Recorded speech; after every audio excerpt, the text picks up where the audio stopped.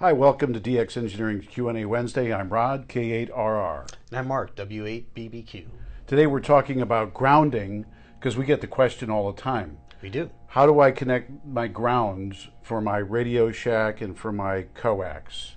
So um, there's a few different ways of uh, attaching uh, the lightning protector, but that's the main thing is like where does the lightning protector go? Does it go out at the antenna? There's some confusion there. Uh, no, it does not. It does not go on the antenna. Does not.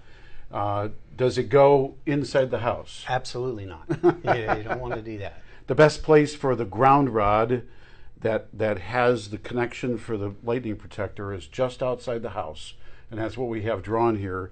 The coax would would run from the antenna either above ground or, or on the ground or underground, it doesn't matter. Mm-hmm.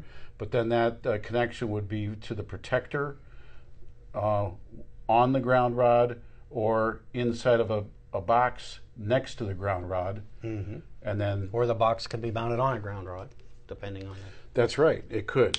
And uh, we have a ground rod here. Mm-hmm. Yep. Um, here's one of the DX Engineering UE2P uh, boxes that uh, could be mounted on the outside of the house. Um, and the protector could be mounted inside of there. And the coax can run inside the bottom of the box and then back outside the bottom, or it could be run through uh, feed throughs on the box. Mhm. So, um, So that's the main thing is placement. Right. The uh, protector goes just outside, just at the entrance to the house. Um, we also wanted to talk about this great book that really has all the diagrams and explanations about doing this grounding. Right. That'll make you an expert. So I have inside the, my house the shack, and I have a, a bus bar behind my equipment. How do I hook that up to the, to the ground? well, f- first of all, you want to run each piece of equipment separately to that bus bar. So tin copper braid uh, from each piece of equipment to the copper bus bar or the Right. copper strap that's behind the equipment. Right. That copper braid is great to use uh, inside, but not so much outside. And then from from there, from the bus inside, solid copper strap should be used to connect to the, the grounding box if you're using one, um, and then onto the ground rod or directly to the ground rod. Right. Can it be a separate ground rod?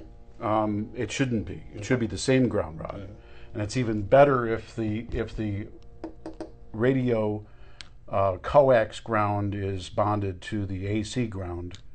That's uh, what you would find in that book on grounding and bonding for amateur radio. Right.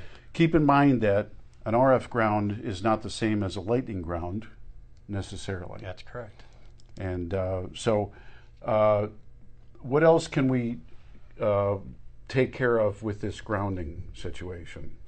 Um, like other protectors, uh, maybe surge protectors could Yeah. be connected Yeah. to this same. Depending to on the type ground. of antenna, you could also have um, um, uh, protector for your rotor. Uh, we saw those items too. That's right. Um, yeah, You know, it's grounding protection, uh, protection for your rotor. we have a, a lot of those products at dxengineering.com. Yep. And speaking of which, here's the new catalog. Yay. It's coming to your mailbox soon. Right. And um, the uh, theme is we're all Elmers here at DX Engineering. That's why we have our Elmer badges on. What we do, Q&A Wednesday, That's right. it's being an Elmer.